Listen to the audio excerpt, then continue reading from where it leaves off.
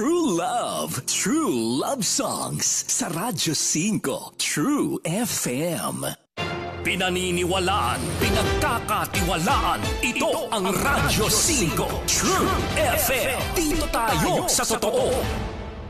Ladies and gentlemen, we now conclude another day of our Ang pambansang awit ng Pilipinas.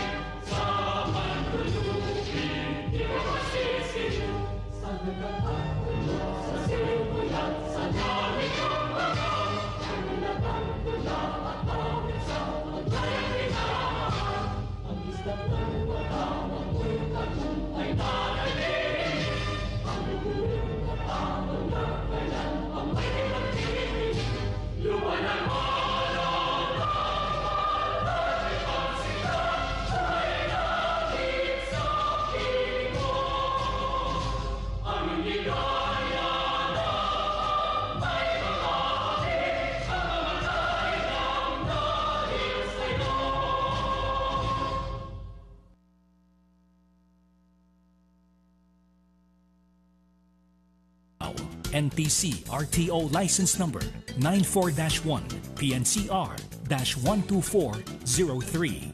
Brendo O Sabado NTC RTO license number 97-1 PNCR-18957. Adolfo M. Garay NTC RTO license number 97-1 PNCR-19107. Ladies and gentlemen, the Philippine National Anthem. On behalf of Nation Broadcasting Corporation, Radyo 5, and True FM, maraming maraming salamat 92.3 for more than 10 years of doing beautiful radio together. True FM is now signing off on 92.3.